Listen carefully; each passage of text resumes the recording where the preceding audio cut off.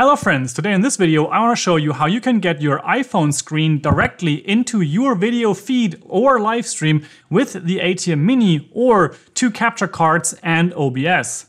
This makes it possible so that you can charge your phone, have it connected to the ATEM or have it show up in OBS and all of that via HDMI. This is possible mainly because of the Apple Media Kit adapter, and that looks something like this, if it's not totally blown out.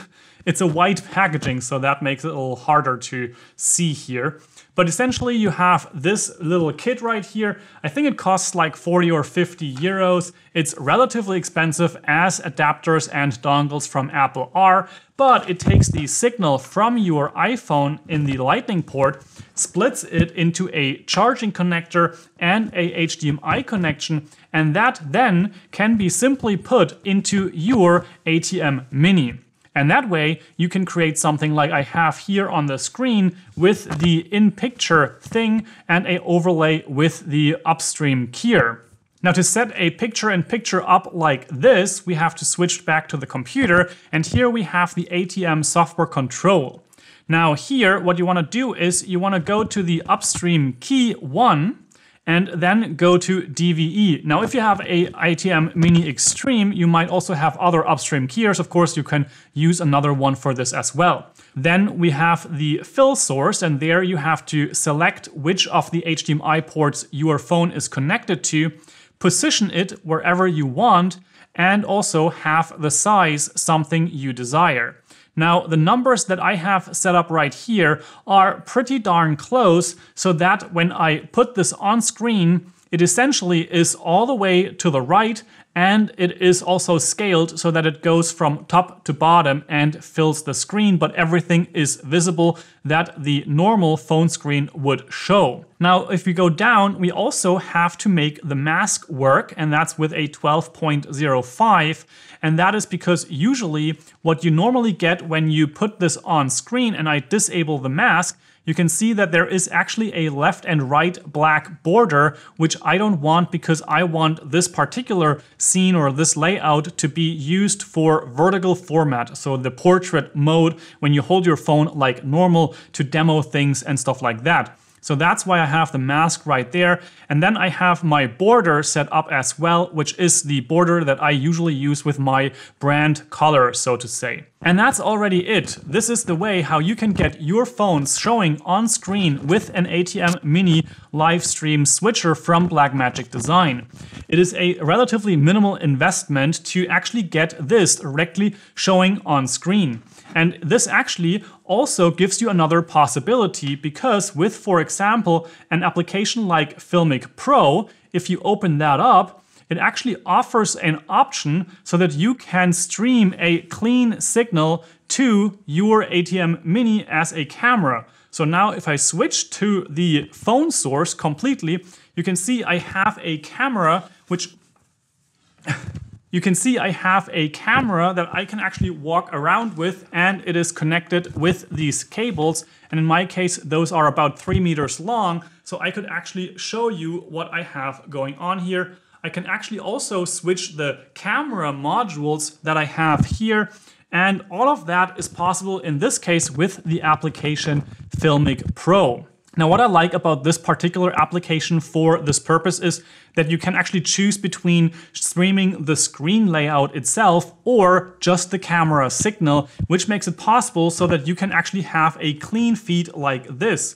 And I think we can even turn this around so that it becomes a selfie camera. So now I have this phone camera going and that works just wonderfully. And I don't have anything showing on the screen, but of course I here on the iPhone screen, I can actually see all the controls. And you actually also have the function to show all of the information, and that is when I change this.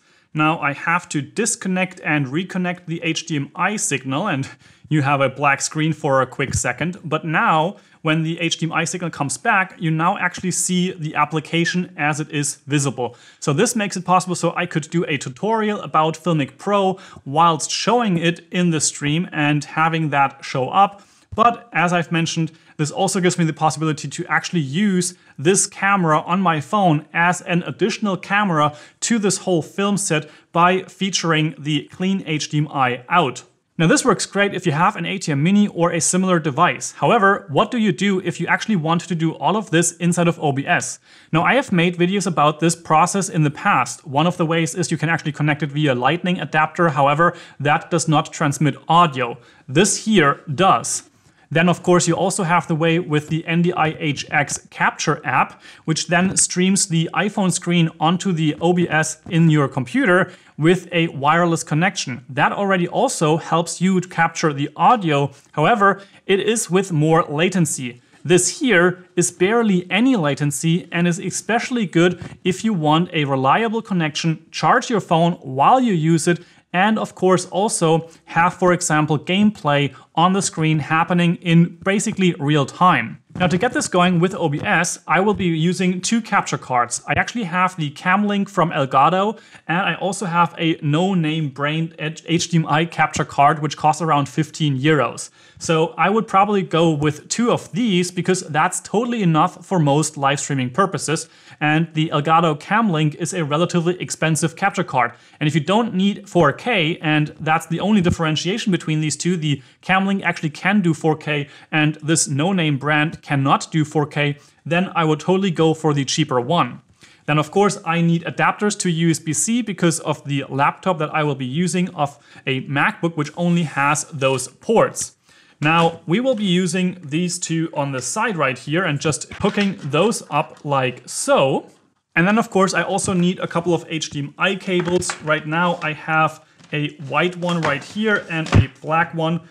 Disconnecting this one from the iPhone first. Hooking this up, let's use the HDMI, the cheap one for the iPhone's camera. And the other end, of course, goes into the phone like so.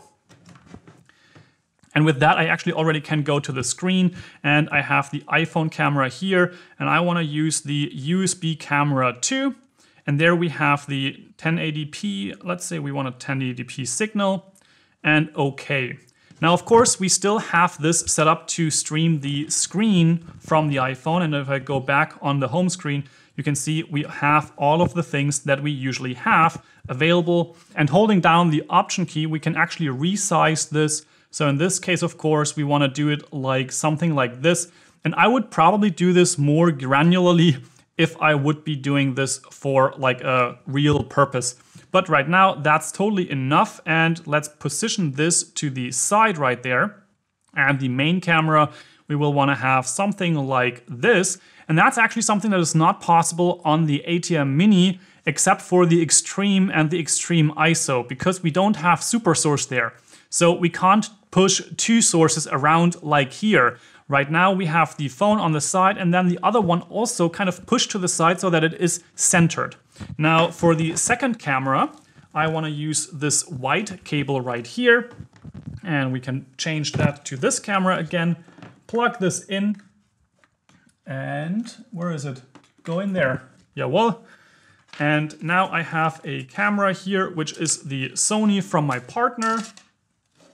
And that of course needs a micro HDMI cable, so I have a bit of an adapter there. And I actually prefer using adapters like this because it means that I can use any HDMI cable that I have lying around with these types of cameras, even with the Canon EOS R, for example, I also have these adapters.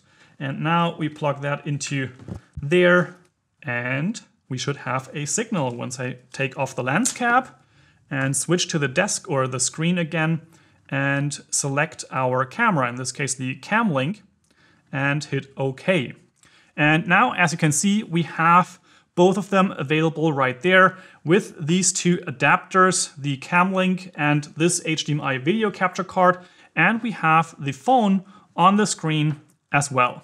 And all of that with just, let's say in this case, if you go for the cheaper adapters only, you can get this for like 15 bucks. If you have a second one, that's like 30.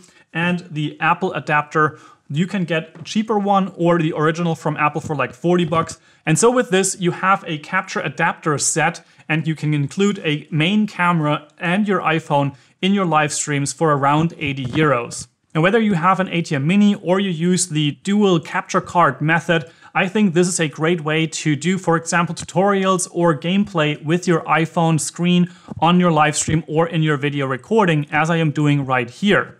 Um, if you have any questions around this type of setup, I would love to answer you in the comments, or you can connect with me on my Discord server. You will, of course, find the link in the description down below.